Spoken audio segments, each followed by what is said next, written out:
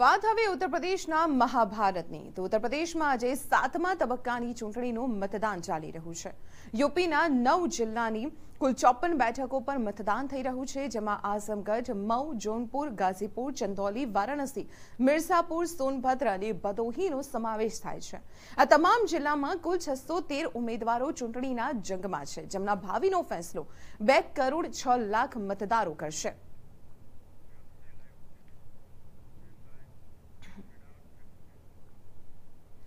ત્યારે આ મામલે વધુ અપડેટ મેળવીએ ઉત્તર પ્રદેશથી અમારા સંવાદદાતા અક્ષય પાસેથી. અક્ષય, છેલ્લા તબક્કાનું મતદાન ચાલી રહ્યું છે. જે વિસ્તારોમાં મતદાન છે, ત્યાં મતદાતાઓ પર કયા મુદ્દાઓ અસર કરતા જોવા મળી રહ્યા છે?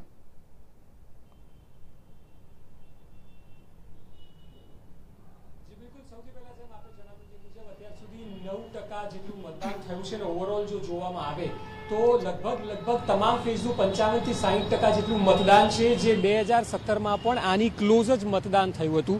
જે જિલ્લાઓની આપ વાત કરો છો, તે જિલ્લાઓમાં ખાસ કરીને અલગ અલગ જિલ્લાઓના મુદ્દાઓની વાત કરીએ, તો અહીં ખેડૂતોનો મુદ્દો છે, અહીં મંદિરનો પણ ચોક્કસ મુદ્દો છે. વારાણસી જેવા જ્યારે જિલ્લાઓની વાત આવે, સાથે આઝમગઢ જેવી બેઠક જે સપાની પરંપરાગત બેઠક ગણવામાં આવે છે. આ તમામ બેઠકો એવી છે કે જેમાં પાર્ટીનું મહત્વ સિવાય પણ વ્યક્તિઓનું વિશેષ મહત્વ છે. કારણ કે વારાણસીથી સાંસદ વર્તમાન વડાપ્રધાન નરેન્દ્ર મોદી તેમની કોન્સ્ટિટ્યુન્સીમાં આઠ બેઠકો આવે છે. બે હજાર સત્તરમાં આ આઠે આઠ ભારતીય જનતા પાર્ટીના ગઠબંધને મેળવી હતી. જ્યારે આઝમગઢની વાત કરીએ કે જ્યાંથી અખિલેશ યાદવનો આ ગઢ છે, ત્યાં કુલ દસ બેઠકો છે. જેમાંથી પાંચ બેઠક ગત વખતે સપાએ મેળવી હતી, ચાર બીએસપીએ મેળવી હતી. એટલે કે અહીં આઝમગઢમાં મુસ્લિમ, યાદવ અને સાથે દલિત વોટ બેંક પર દસે દસ બેઠકો મતદાર રાખે છે. તો વારાણસીમાં હિન્દુ બેઠક જ્યાં બ્રાહ્મણ મતદારો, કાયસ મતદારો પર ખૂબ જ મદાર રાખે છે. એટલે કે મિની ઉત્તર પ્રદેશ જેવી આ ચોપન બેઠકો છે કે જ્યાં તમામ સમુદાય તમામ જ્ઞાતિનું વિશેષ મહત્વ છે. બેઠક વાઇઝ જો અલગ અલગ બેઠકની વાત કરવામાં આવે તો આપે દલિતની વાત કરીએ, દલિત મતદારોની, યાદવ મતદારોની, મુસ્લિમ મતદારો, બ્રાહ્મણ મતદારો, આ તમામ થઈને એક મિની ઉત્તર પ્રદેશ છે. આપને એ પણ જણાવી દઉં કે આ ચોપન બેઠકોમાં જે પ્રભુત્વ મેળવે છે તેની સરકાર રચાય છે.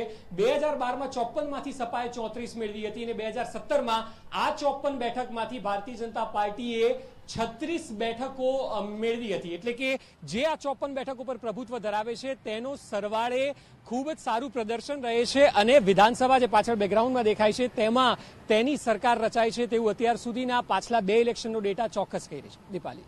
ચોક્કસ, અક્ષય, આભાર. માહિતી આપવા બદલ તો આપને જણાવી દઈએ કે ઉત્તર પ્રદેશમાં જે રીતે અત્યારે છેલ્લા તબક્કાનું મતદાન ચાલી રહ્યું છે, ચોપન બેઠકો પર મતદાન અત્યારે કરવામાં આવી રહ્યું છે અને અત્યાર સુધીમાં લગભગ નવ ટકાની આસપાસ મતદાન નોંધાઈ ચૂક્યું છે.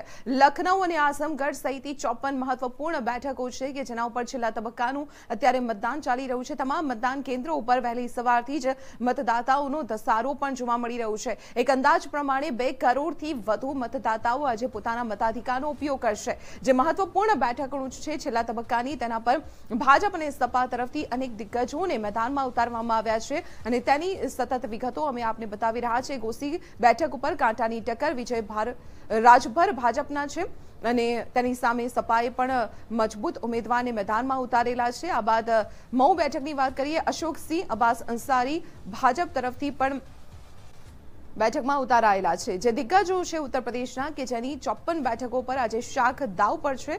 તેની જો વાત કરીએ તો રવિન્દ્ર જયસ્વાલ, રાજ્યપ્રધાન રાજ્યપ્રધાન નીલકંઠ તિવારીનું ભાવિ પણ આજે ઈવીએમમાં સીલ થવાનું છે. આ ઉપરાંત રાજ્યપ્રધાન ગિરીશચંદ્ર યાદવનું ભાવિ પણ આજે ઈવીએમમાં સીલ થવા જઈ રહ્યું છે. યોગી સરકારમાં પ્રધાન રમાશંકર સિંહ પણ આ ચોપન બેઠકોમાં મેદાનમાં છે. યોગી સરકારમાં પ્રધાન સંગીતા બલવંત બિંદનું ભાવિ પણ આજે ઈવીએમમાં સીલ થશે.